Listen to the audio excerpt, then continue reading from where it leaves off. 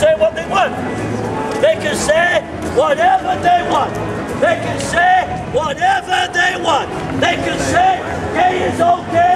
They can say postmodern is okay. But the Ten Commandments say, Thou shalt not commit adultery. Thou shalt not lie. Thou shalt not steal. And the Ten Commandments say to secular culture, on your fight.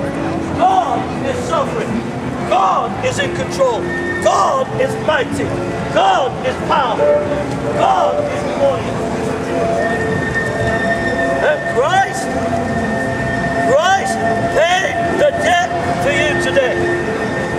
He paid the debt for you today. He paid the debt. Who God has set forth to be a propitiation through faith in his blood to declare his righteousness for the remission of sins